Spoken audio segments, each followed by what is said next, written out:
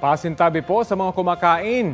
Upang mapigilan ang pamiminsala ng mga daga sa ilang taniman, isang proyekto ang inilunsad sa South Cotabato. Yan ang Buntot ni Daga Bigas Mo Campaign. Papalitan ng gobyerno ng isang kilong bigas ang bawat sampung buntot ng daga na dadalhin sa Municipal Agricultural Office ng kada munisipyo. Sa tala ng Office of the Provincial Agriculture, halos nasa labing isang munisipalidad na sa lalawigan ang pineste ng mga daga. Pinakaapektado sa ngayon ang mga bayan ng Surala, Tantangan, Lake Cebu at Tibuli.